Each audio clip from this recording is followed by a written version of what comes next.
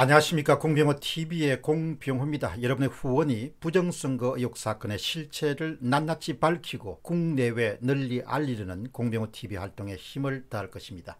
방송 시작하겠습니다. 신운섭 서강대학교 화학과 교수는 화학자 입장에서 공학도 입장에서 통계 분석은 가측 오차 그러니까 체계적 오차와 불가측 오차 우연 오차를 구분해야 된다는 그런 주장에 바탕을 두고 21대 총선 결과에 대한 문제점을 일찍 지적한 바가 있습니다. 며칠 전 다시 과학자 입장에서 중앙선거관리위원회 측에 납득할 수 없는 해명과 설명을 예리하게 지적한 메일을 보냈습니다. 과학자의 시각과 관점에서 21대 총선 결과와 우리 사회에서 점점 가열화되고 있는 21대 총선 부정선거 의혹 사건에 접근하는 문제점을 조명해 보도록 하겠습니다. 아래 내용은 메일 내용을 여러분들과 정리해서 전달합니다. 첫 번째는 통계학자들은 거의 불가능하다는 용어를 사용하지만 실험과학자들은 신운섭 교수처럼 화학을 하신 분들은 그것 잘못되어서 다시 해보아 라는 용어를 씁니다. 21대 총선의 사전투표와 당일투표에 A당과 B당의 정당 지지율 차이가 너무 큽니다. 더불어민주당은 플러스 10%포인트, 미래통합당은 마이너스 20%포인트입니다. 두 개를 합치게 되면 무려 20%포인트 정도가 사전투표율이 당일 투표율과의 격차가 생기게 됩니다. 여기에다가 개표구별, 동별까지 해일적인 차이를 보이는 것은 과학자 입장에서는 잘못되어서 문제를 찾아봐 라고 말할 내용입니다. 통계학자들은 통계학적 용어로서 일어나기가 극히 어렵다 이런 표현을 사용하지만 과학자처럼 실험과학자들은 이런 경우를 잘못되어서 문제를 찾아봐 이렇게 이야기한다는 겁니다. 그러니까 21대 총선을 과학자 입장에선 잘못된 결과다 이렇게 이야기하는 것이죠. 잘못된 결과다. 그 잘못되게 만든 조작한 그런 원인과 범인과 이런 모든 수법을 찾아내야 된다는 것이 바로 화학자의 주장입니다. 왜냐하면 21대 총선에는 일전에 말씀드린 것처럼 수정, 보정 가능한 가측오차, 대통오차가 포함되어 있는 것이 확실하기 때문입니다. 이것을 다른 말로 표현하면 조작값이 포함되어 있다고 이렇게도 표현할 수 있습니다. 과학자들이 또한 저의 경우처럼 가책 오차가 포함됐을 때는 그것을 확인하고 보정하기 위해서 실시하는 방법은 아래에 세 가지가 있습니다. 그러니까 화학 실험을 하는 경우에 명백한 가책 오차가 발견되었을 때는 신운섭 교수는 학생들과 함께 세 가지 조치를 취한다는 겁니다. 첫 번째, 먼저 실험한 본인에게 자료를 다시 한번 상세히 검토해보고 실험한 것을 반복해 보면서 어떤 문제가 있는지를 찾아보는 것이다. 이것은 꼭 같은 중앙선거관리위원회에게도 적용될 수 있는 메시지이기 때문에 여러분이 귀담아 들어야 될 충분한 가치가 있습니다. 두 번째는 같은 실험실의 다른 학생 혹은 다른 연구자에게 동일한 실험을 시켜보고 비교해 보는 것입니다. 마지막으로 세 번째는 신뢰성이 있는 국내외 다른 실험실에 의뢰해서 동일한 실험을 진행해 보는 것입니다. 이 세 가지가 화학자 입장에서 과학자 입장에서 너무나 확연한 가측 오차, 체계적 오차, 시스테매틱 에러를 만났을 때 수정하고 보정하기 위해서 실시하는 방법입니다. 제일 쉽고 간단한 방법은 실험하는 학생이 다시 검토해 보면서 아 교수님 여기가 잘못되었네요. 제가 용액 농도를 잘못 만들었습니다. 실험할 때 실수를 했습니다. 하며 자신의 문제를 스스로 찾아서 보정해 주는 경우입니다. 이렇게 해도 해결이 되지 못할 때 그 다음 단계는 실험 과정 및 자료를 지도교수와 함께 상세하게 살펴보면서 고민해서 문제를 해결해 나간 것입니다. 마지막으로 그런 경우도 안 되는 경우는 내부와 외부의 관련 전문가 분들에게 자료를 보내어서 검토시키거나 동일한 실험을 의뢰해서 비교토록 하는 것입니다. 그러면은 이번 21대 총선의 경우에 가장 먼저 잘못된 자료를 검토하여 보정해 주어야 할 사람은 의혹을 제기하는 사람이 아니고 자료를 취합해서 결과물을 만들어서 결과물을 발표한 중앙선거관리위원회가 될 것입니다. 여러분 여기 아주 중요합니다. 의혹을 제기한 사람이 입증할 책임이 있다는 것이 아닙니다. 자료를 취합해서 결과를 국내외에 발표한 중앙선거관리위원회가 의혹에 답할 의무와 책임이 있다는 것입니다. 중앙선거관리위원회 홈페이지에 올라와 있는 4월 22일과 5월 12일에 발표된 두 건의 중앙선거관리위원회 보도자료를 상세히 살펴보았습니다. 선관위는 실험을 하여 자료를 뽑은 당사자입니다. 예를 들면 화학자 입장에서는 중앙선거관리위원회 선관위는 실험을 한 학생입니다. 당사자는 계속적으로 잘못 판단하고 있습니다. 여기에다가 더해서 사실을 왜곡하기조차 하고 있습니다. 보시죠. 예를 들어 4월 22일 날 지금까지 중앙선거관리위원회는 두 차례 걸쳐서 공식적인 보도자료를 냈습니다. 이번 21대 총선에 대한 의혹 제기에 대해서 4월 22일 보도자료 3페이지에 보면은 253개의 선거구를 다 비교하여 답변하지 않고 자기 자신의 주장을 그대로 강조하기 위해서 광주, 서울, 군산, 당진 네 군데만 자료만 의도적으로 선택 비교하여 정확히 설명할 수 없는 것이라고 모호하게 설명하기 우깁니다. 우기는 것이죠. 어떻게 우기냐? 확인 결과 더불어민주당 후보 253명의 평균 득표율은 사전투표에서 선거일 투표보다 10.7%포인트 높게 나타났습니다. 그러나 시도별 광주 1.89%포인트, 서울 13.06%포인트 선거구별 큰 차이를 보이고 있으며 여기서 동원된 것은 전북 군산시 0.52%포인트, 중남 탕진시 18.31%포인트입니다. 큰 차이를 보이고 있으며 이것은 해당 지역의 유권자의 특성으로 추정할 뿐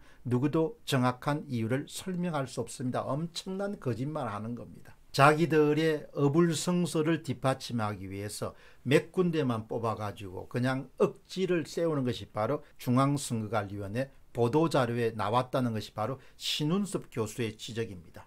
어떻든 정직해야 됩니다. 게다가 투표 결과를 통계적으로 과학적으로 설명하는 것은 불가능한 것이라 우깁니다. 참 이런 부분은 우리 사회의 반지성, 반이성의 분위기를 참 잘 분영합니다. 중앙선거관리위원회뿐만 아니라 일본 농객들도 이런 주장을 펴니다. 투표 결과를 통계적으로 과학적으로 설명하는 것은 불가능한 기다. 이렇게 우기는 겁니다. 과학을 이길 수 있다고 이렇게 주장하는 겁니다. 거짓말이죠.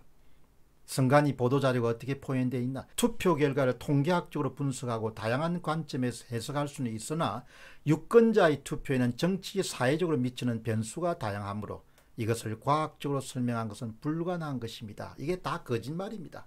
과학 관점에서는 거짓말을 하고 있는 겁니다. 누가? 선관위의 관계자들이.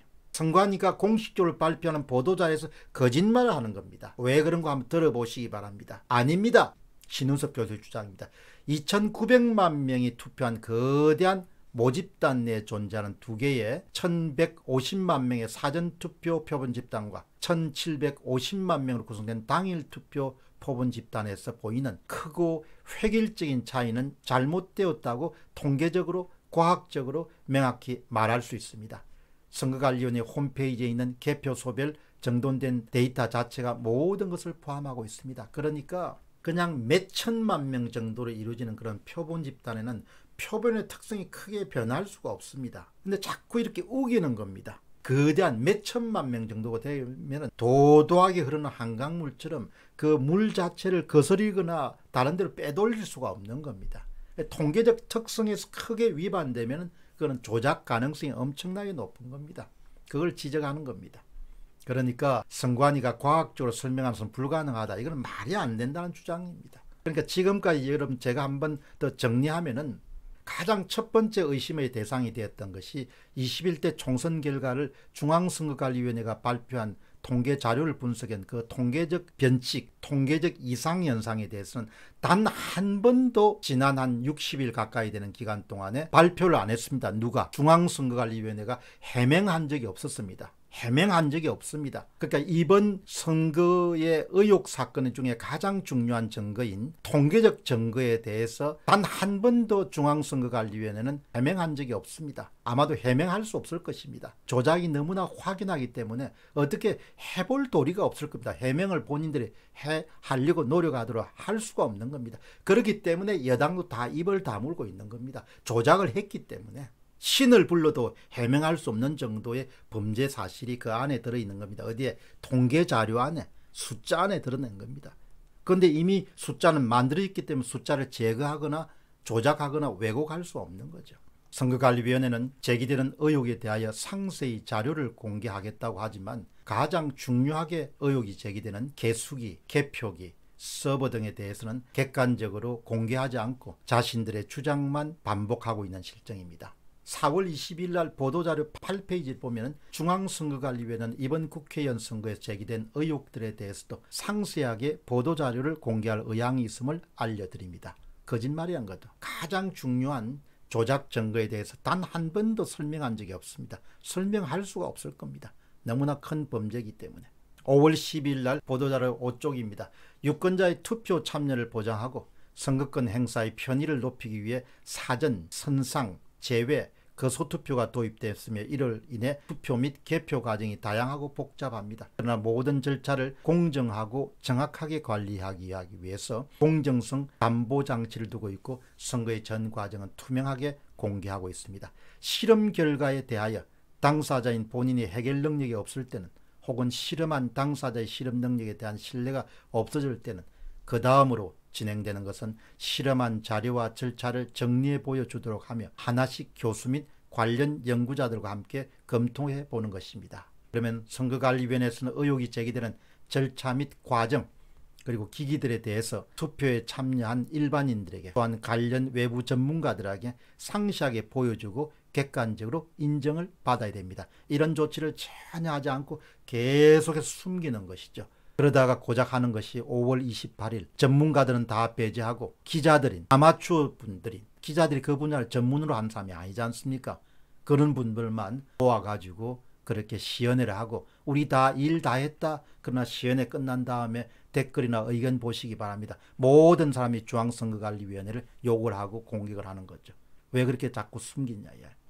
그러려면 선거관리위원회에서는 투개표 진행 상황을 본인들만이 아니라 외부 전문가와 일반인들이 함께 보여주며 시연하며 일일이 검토받아야 할 것입니다. 여기에는 관련된 모든 장비들과 투표함, 투표지를 포함한 모든 기록 그리고 총선을 위해 준비된 모든 절차들이 포함되어야 할 것입니다. 또한 선거는 이번이 처음 한 것이 아니므로 우리나라에서 기존에 행했던 다른 선거들 뿐만 아니고 해외의 사례들과 비교해서 전문가의 의견과 도움을 받아야 될 것입니다. 현재 253개 선거구에서 25명 정도 즉 10%가 이미 투표함 보전 신청 등 2위를 제기한 상태지만 분류기, 개수기, 서버 등 전자기기에 관련해서는 일률적으로 법원에서 용인되고 있지 않는 상황 말이 안 되는 것이죠. 봉인이 뜯기는 사전투표함 보관하고 있는 투표함의 봉인이 다시 무엇인가를 적는 것이 관찰된 CCTV 파쇄되어 발견된 투표지 접지 않은 채로 무더기로 발견된 투표지 분류기의 잘못된 분류 영상 등 투표함 보관 및 개표 상황에서 다양한 오프라인에서의 의심 상황 그리고 구리 선거관리위원회에서 확보된 영상 자료에 나오는 분류기에서 보안을 위해 들어가 있지 말아야 될 인베디드 컴퓨터 시스템 USB 포트 등이 관찰된 것 등은 너무나 많은 의구심을 가지게 합니다. 선거관리위원회는 공정한 선거를 위한 기구이므로 이 모든 것들을 잘 설명할 책임이 있습니다.